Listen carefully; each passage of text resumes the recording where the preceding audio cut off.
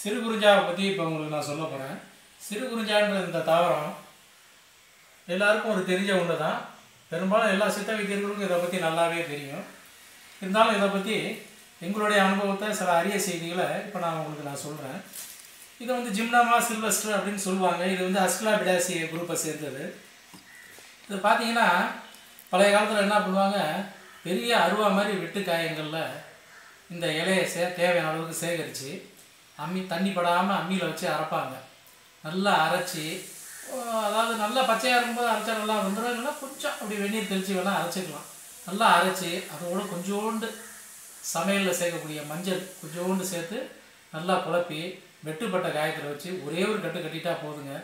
புண்ணு ஆறுற வரைக்கும் அந்த கட்டு அதிலே இருந்தால் போதும். அது வந்து வாய் நல்லா மூடிடும் தையல் போட்ட மாதிரி ஒட்டி சௌரியமாயிடுங்க எப்பேற்பட்ட வலி வீக்கம்லாம் கூட இதை எடுத்துருங்க. அவ்வளோ ஒரு அற்புதமான வெட்டுக்காயத்துக்கு ரொம்ப ஒரு அற்புதமான இது ஒரு பச்சைலங்க இது அப்புறம் இப்போ சாதாரணமாக அந்த விஷப்பூச்சி கடிங்கள்லாம் இருக்குது பாருங்கள் அதாவது காணாக்கடின்னு சொல்லுவாங்க அரிப்பு தடிப்பு இந்த மாதிரி விஷப்பூச்சி கடிங்களுக்கு இதை என்ன பண்ணுறது ஒரு ஒரு அற்புதமான ஒரு சூழ்நிலை ஒன்று சொல்கிறேன் ஒரு அனுபவத்தில்.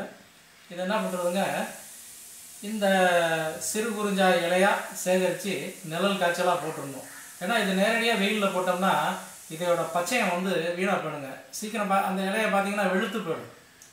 அதனால் ஒரு நாலஞ்சு நாளைக்கு நிழல் காய்ச்சலாகவே காய வச்சு தூள் பண்ண போகும்போது ஒரு ரெண்டு மணி நேரம் மூணு மணி நேரம் வெயிலில் வச்சுட்டு அதுக்கப்புறம் வசராயம் பண்ணிங்கன்னா நல்லாயிருக்கும் அந்த மருந்து. அந்த மாதிரி சூரணம் பண்ணது ஒரு பாகம் எடுத்துக்கோங்க. இந்த பெருமருந்துன்னு சொல்லி ஒரு இலை ஒன்று சொல்லுவாங்க. சித்த வைத்தியர்களுக்கு தெரியும். கிராமங்களில் எல்லாருக்கும் ஒரு தெரிஞ்ச ஒரு பச்சரை தான். அந்த அந்த இலையும் இதே மாதிரி நிழல் காய்ச்சலாக போட்டு இதே மாதிரி தூள் பண்ணி சம அளவு சேர்த்து வச்சுக்கோங்க. அதாவது சிறு குறிஞ்சா ஒரு பாகம் ஈஸ்வர மொழின்னு சொல்லக்கூடிய அந்த பெருமருந்து ஒரு பாகம். ரெண்டையும் சம அளவு கலந்து வச்சுங்க வேறு ஒன்றும் இனிப்பு இதெல்லாம் சேர்க்க வேணாம். ஏன்னா இது வந்து இயற்கையாகவே இந்த ரெண்டு பச்சனையும் கசப்பாக தான் இருக்கும். இப்போ தான் எம்டி கேப்சூல்லாம் வந்துருச்சு. அதெல்லாம் போட்டு கொடுக்கலாம். இல்லைன்னா ஒரு அரை டீஸ்பூனு வாயில் இட்டு மோர் இந்த மாதிரி ஒரு மோரில் உப்பு போட்டு கூட அப்படி சாப்பிட்டா கூட கசப்பு தெரியாதுங்க. இந்த மாதிரி சாப்பிட்லாம். ஒரு நாளைக்கு மூணு தரம் நாலு தரம் நோயோடைய தன்மைக்கு ஏற்ற மாதிரி அரிப்போட தீவிரத்துக்கு ஏற்ற மாதிரி ஒரு வாரம் பத்து நாள் அப்படி சாப்பிட்டுட்டே வந்தோம்னா நிரந்தரமாக இந்த விஷப்பூச்சி கடிகளுடைய தாக்கம் இந்த டாக்ஸின் பிளட்லலாம் இருந்ததுன்னா நியூட்ரல் ஆகிடுங்க ரொம்ப ஒரு அற்புதமான ஒரு ஒரு விஷ விஷக்கடி சூரணங்க இது. இதை நாங்கள் அனுபவத்தில் செஞ்சு கொடுத்துக்கிட்டு இருக்கோம். இதை நீங்களும் உபயோகப்படுத்தலாம். அப்புறம் இதில் வந்து எல்லாருக்கும் தெரிஞ்சது தான் இதில் வந்து இந்த டைப் ஒன் டைப் டூ டயபெட்டிக்ஸுக்கு இதில் உங்கள் எங்களுடைய அனுபவத்தில் ஒரு சூழ்நிலை ஒன்று சொல்கிறேன் திரிபலாதி. திரிபலாதினா எல்லாருக்கும் தெரியும். கடுக்கா தாண்டிக்காய் நெல்லிக்காய் இப்போ எல்லா இடங்களும் எல்லா ஷாப்பு கடைகளெல்லாம் விற்றுக்கிட்டு இருக்காங்க. அதை கூட வாங்கி உபயோகப்படுத்திக்கலாம். இல்லைன்னா நம்மளை சுயமாக செஞ்சு தயாரித்தோம்னா அது ரொம்ப வீரியமாக இருக்கும். திரிபலாதின்னு சொல்லக்கூடிய சூரணம் ஒரு பாகம். இதுக்கு ரெண்டு பாகம். இந்த சிறு குறிஞ்சா சூரணத்தை கலந்து வச்சுக்கோங்க. இதே மாதிரி தான் நிழல் காய்ச்சலாக போட்டு அதுக்கப்புறம் தூள் பண்ணி சேர்க்கணுங்க. அதாவது திரிபலாதி ஒரு பாகம்னா ரெண்டு பாகம் சிறு குறிஞ்சா. சூரணத்தை கலந்து நல்லா வச்சுக்கங்க. வச்சுக்கிட்டு இதை என்ன பண்ணுறது கஷாயமாக தான் போட்டு குடிக்கணுங்க. அதாவது மூணு நேரம் ஒரு நாளைக்கு இல்லை ரெண்டு நேரம் போதுன்னா ரெண்டு நேரம். ஒரு ஒரு ஸ்பூன் அளவுக்கு ஒரு பாத்திரத்தில் போட்டு ஒரு ரெண்டு டம்ளர் விட்டு ஒரு டம்ளராக குறையிற மாதிரி நல்லா ஒரு கஷாயம் மாதிரி போட்டுட்டு வடி கட்டிக்கிட்டு அந்த வெது வெதுன்னு கஷாயம் இருக்கும்போது குடிச்சிட வேண்டியது. வெறும் வயிற்றில் சாப்பிட்லாம். இதே மாதிரி சாயந்தரம் ஒரு டம்ளர் வெறும் வயிற்றில் இதே மாதிரி கஷாய பொடியை சாப்பிட வேண்டியது. இது மாதிரி ஒரு ரெண்டு நேரம் சாப்பிட்டுட்டே வந்தீங்கன்னா ரொம்ப வேகமாக நீரிலோட தாக்கம் வேகமாக குறைய ஆரம்பிச்சிடும் இது மாதிரி கொடுக்கறது இது ஒரு ஒரு முறை. இதே சூரணத்தை கஷாயம் போடாமல் நேரடியாக சாப்பிட்றது சில நோய்களை கேட்கும். அதாவது எப்படின்னா இது வந்து ப்ளீடிங் பைல்ஸுக்கு இந்த சூரணம் ரொம்ப நல்லா வேலை செய்யும்.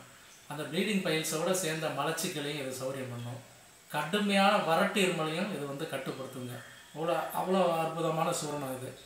அதே மாதிரிங்க இதில் ஒரு இன்னொரு விசேஷம் இருக்குது இந்த ஒபேசிட்டின்னு சொல்லக்கூடிய உடல் பருப்பமும் நீரிழிவும் இந்த ரெண்டு நோ அதாவது ரெண்டு உபாதையும் தொந்தமாக உள்ள நோயாளிகளுக்கு இது ரொம்ப ஒரு அற்புதமான சூரணம். அதாவது அந்த நோயாளிகளுக்கு பார்த்திங்கன்னா தேவையில்லாத ஃபேட்டையும் நல்லா குறைச்சி கொண்டு வந்துடும் உடம்பும் குறைய ஆரம்பிச்சிடும் நீரிழிவும் கட்டுப்படுத்தி வைக்கும். அந்த மாதிரி ஒரு சூர்ணம் இது ரொம்ப ஒரு அற்புதமான சூர்ணங்க. பசியை நல்லா குறைச்சிடும் இப்போ நிறையா ப்ராடக்ட்லாம் வருது பசியை குறைச்சி உடம்பை குறைக்கக்கூடிய மருந்துகள் அப்படின்னு ஃபீல்டில் நிறையா வருது. அதே மாதிரி வேலையை இது ரொம்ப அற்புதமாகவே செய்யுங்க. எந்த எதிர் விளைவும் இல்லாமல் செய்யும். ஏன்னா இது வந்து முழுக்க முழுக்க ஹண்ட்ரட் பர்சன்ட் நேச்சுரல் ப்ராடக்ட் பாருங்கள் அதனால் இது ரொம்ப நல்லா இருக்கும்.